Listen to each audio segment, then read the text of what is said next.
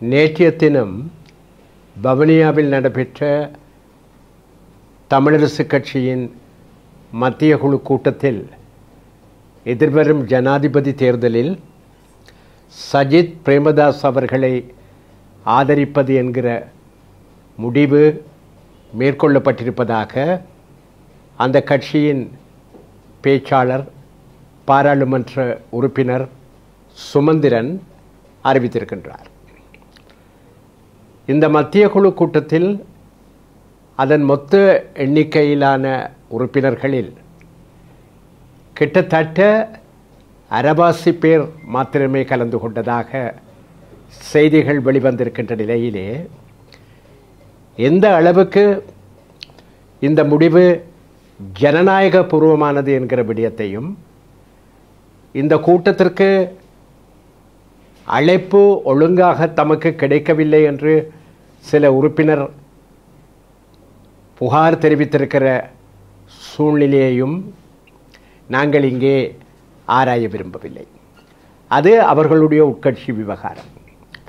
ஆனால் அந்த கட்சியின் சார்பிலே பேசவல்ல பாராளுமன்ற உறுப்பினர் பேச்சாளர் இந்த அறிவிப்பை கட்சியின் சார்பிலே விடுத்திருக்கிறார். அதனை அடித்து ஆதரவு தெரிவிக்கப்பட்ட வேட்பாளர் சஜித் பிரேமதாச தமிழரசு கட்சிக்கு நன்றியும் தெரிவித்திருக்கின்றார்.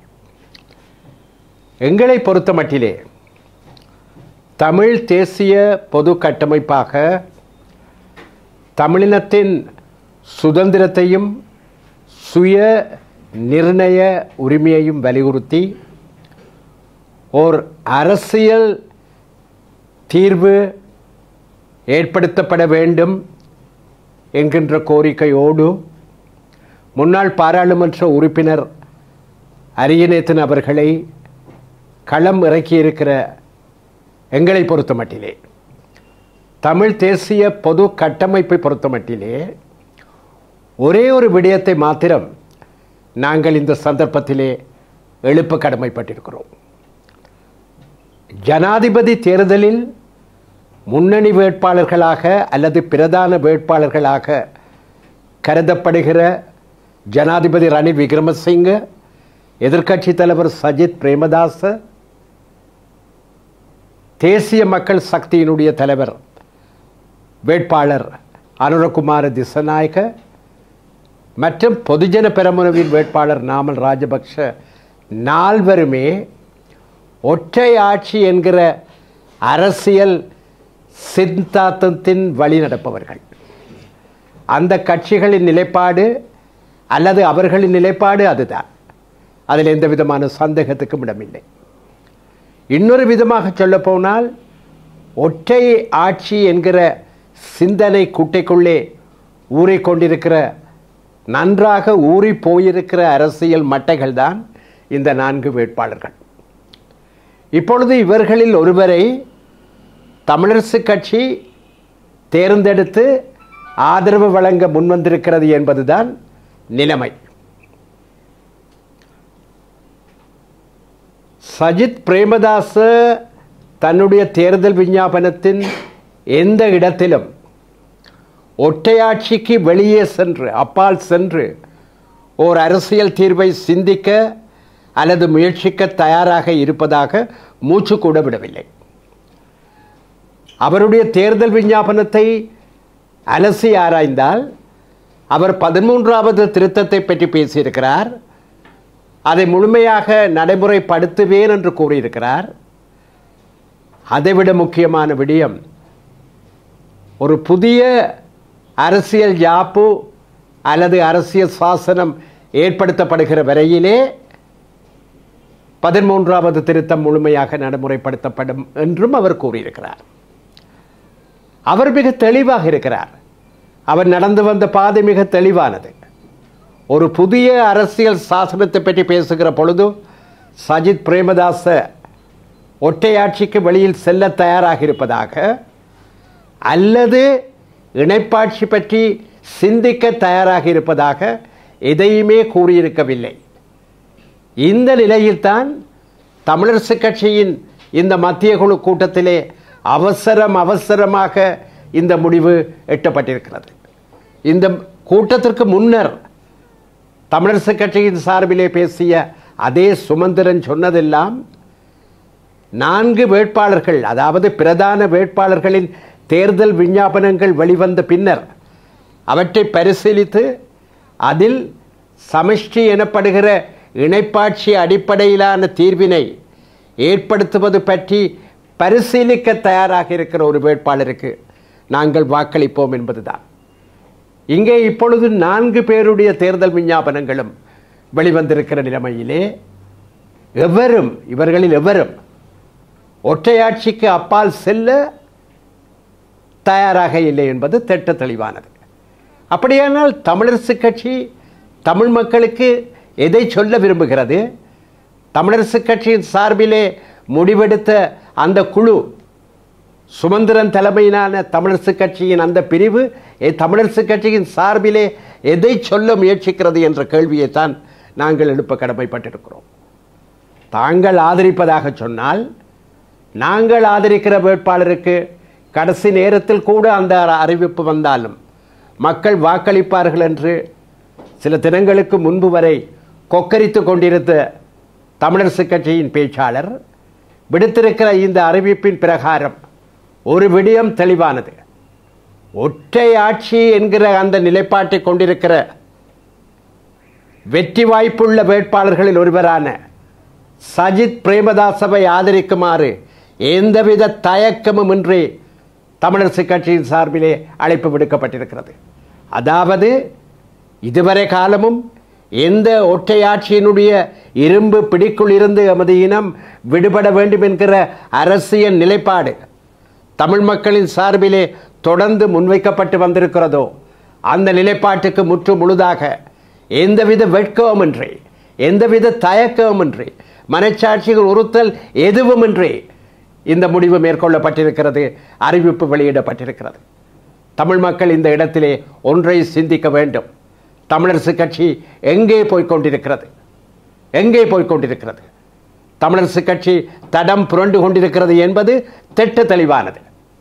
தனக்கு மூக்கு போனாலும் பரவாயில்லை எதிரிக்கு சகுன பிழையாக வேண்டும் என்கிற அந்த பழைய மொழியின் அடிப்படையிலே எழுச்சி பெற்று கொண்டிருக்கிற தமிழ் தேசிய பொது கட்டமைப்பின் வேட்பாளர் அரியநேந்திரன் அவர்களுடைய செல்வாக்கு அலையை தடுத்து நிறுத்த வேண்டும் அல்லது தனியே செய்ய வேண்டும்.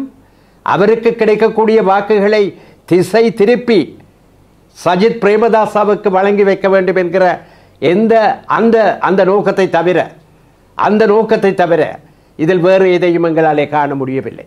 அதனால் தான் நாங்கள் தமிழ் மக்களுக்கு திட்ட தெளிவாக சொல்ல விரும்புகிறோம். மலையக தமிழ் மக்களை பொறுத்த மட்டிலே பிரச்சனைகள் வேறு. எமது முஸ்லிம் சகோதரர்களை பொறுத்த மட்டிலே பிரச்சனைகள் வேறு. அவர்கள் எந்த நிலைப்பாட்டையும் எடுப்பதற்கு உரிமை கொண்டவர்கள். ஆனால் தமிழ் மக்களின் தாயகம் என்று நாங்கள் அனைவரும் நீங்கள் அனைவரும் உரிமை கோருகிற எங்கள் தமிழ் தேசத்திலே எமக்கென ஒரு சுயாட்சி அரச சு- சுயாட்சி முறையிலான அரச நிர்வாகம் சுயாட்சி முறையிலான அரசியல் நிர்வாக கட்டமைப்பு ஏற்படுத்தப்பட வேண்டும். அதுவே தமிழினத்தின் தேசிய பிரச்சனைக்கு தீர்வாக அமைய முடியும். எங்கள் அபிலாஷைகளுக்கு அதுதான் திருப்திகரமான ஒன்றாக இருக்க முடியும் என்று சொல்லி வந்திருக்கிற தமிழ் மக்களை பொறுத்தமட்டிலே நிலைமை வேறு. நாங்கள் ஒரு பொழுதும் ஒற்றையாட்சிக்கு ஆதரவாக எந்த விதத்திலும் எந்தவித சமிகையையும் வெளிப்படுத்த முடியாது. ஆனால் இங்கே தமிழ் மக்களின் பிரதான கட்சி என்று மாறுதட்டுகிற தமிழரசு கட்சியினுடைய அறிவிப்பு தமிழ் மக்களுக்கு என்ன சொல்கிறது?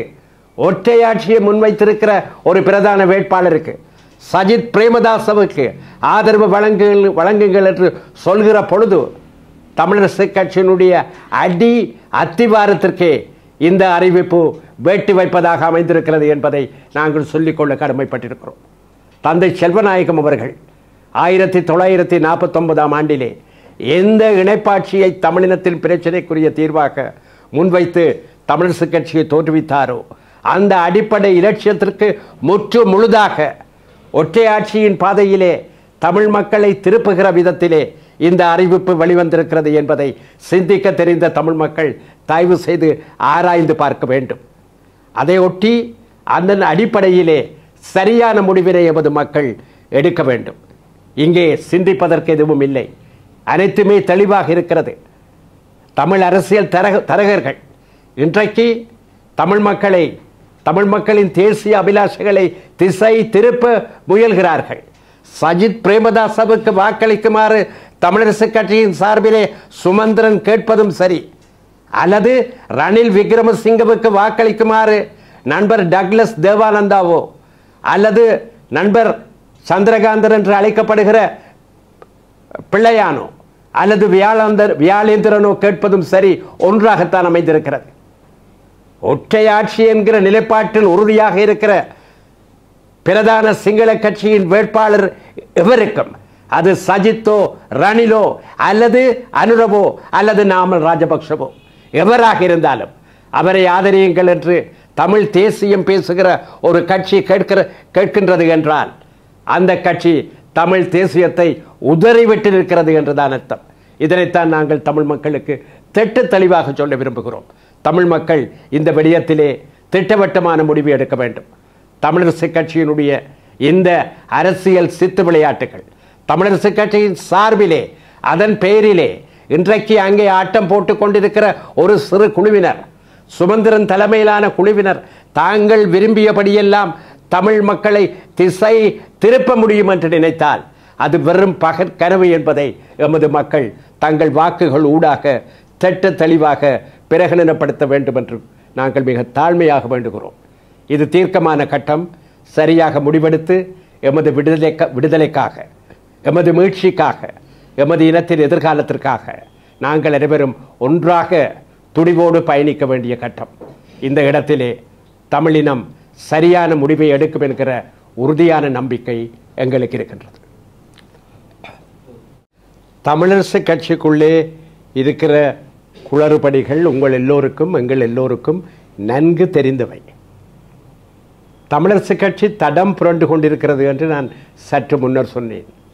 அங்கே இருக்கின்ற லட்சியவாதிகள் இன்றைய தலைவர் உட்பட புதிதாக தேர்ந்தெடுக்கப்பட்ட தலைவர் ஸ்ரீதரன் உட்பட மற்றும் இந்த மத்திய குழு கூட்டத்திற்கு சமூகம் அளிக்க தவறிய பொறுப்புள்ள முன்னாள் பாராளுமன்ற உறுப்பினர்கள் ஸ்ரீநேசன் யோகேஸ்வரன் உட்பட அந்த கட்சியிலே தமிழ் தேசியத்தை இறுக பற்றி பிடிக்கின்றவர்கள் என்று நாங்கள் கருதுகிற அனைவரும் தீர்க்கமாக சிந்தித்து திட்டவட்டமாக சிந்தித்து தீர்க்கமாக முடிவெடுக்க வேண்டிய ஒரு விவகாரமாக இது இருந்து கொண்டிருக்கிறது.